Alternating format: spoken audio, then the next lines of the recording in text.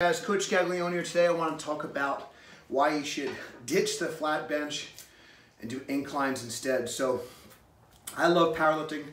I've been a competitive powerlifter for over 14 years. And truth is, if I wasn't a competitive powerlifter, the incline bench would be my pressing movement of choice. And here's why. Uh, so a couple of things when we're kind of picking criteria.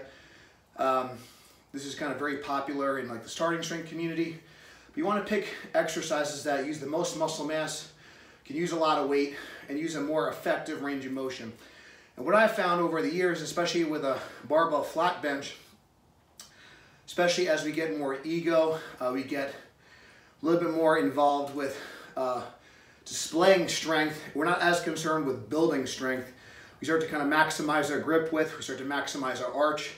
We start to get our legs and lower back a little bit too, too much involved if our goal is to build strength and size for the upper body. So what I've kind of found, like a 45 degree incline press is kind of the best of both worlds between a strict press, strict overhead military press, and a flat bench. It's really hard to kind of cheat, even if your butt is off the bench a little bit, you're not really getting that much assistance. Whereas if you kind of do like a touch and go, really high arch, really wide, bouncing bench press, you could really exaggerate the amount of poundages you could do.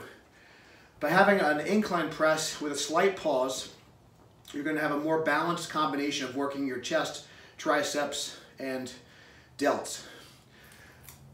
The other reasons, a lot of people argue that even the overhead press is a better strength builder and a better strength test uh, than the bench press. And there's some argument to be made there.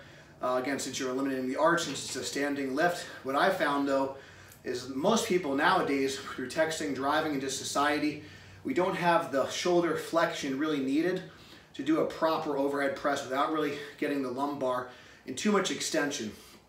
Now, it's not to say that we can't work on it, and I do think the overhead press is super valuable, but I think for most people, can do an incline press safely. Most people have uh, some degree of external rotation where they, they might not have a full degree of external rotation that they might need for like a barbell back squat or an overhead press or a behind the neck press. But I'd say there's going to be some incline, whether it be more shallow or more steep, it's going to be comfortable for everybody. And by taking a more moderate grip, it's going to really take the, the pecs, the shoulders, and the triceps through a, and the delts through a nice range of motion, as opposed to a really wide grip, high arch, flat bench press. So I'm going to show you some general techniques. I like to keep my pinkies on the ring. Basically what you want to try and do in terms of your grip is to have your wrists and elbows stacked, and that's going to give you a nice range here, whether you're using a straight bar or using dumbbells. So we're going to take a look at the technique here. There's a couple, now you can also, you don't have to stop at your chest. That feels comfortable for me. If you want to stop a little bit higher and do like a little bit of like a t-shirt or a spoto press, that's fine. So here's a good lockout position. It's again, wrist, elbows, and shoulders in alignment. I can take this all the way down to my chest give a little pause, or I could hover, or place a bar pad, or I could place something like a bar pad or a wrist wrap kind of underneath. So something like this, I could also put on the bar to kind of modify the range of motion to make it fit your needs. Because again, if you're not a competitive power lifter, I do believe you could ditch the flat bench, incline instead, that's coming from a, a powerlifter that's been in the game for over a decade. I really believe the incline press is a fantastic builder. And if you are a competitive powerlifter, I do believe the incline press will really help you uh, in the off season as well.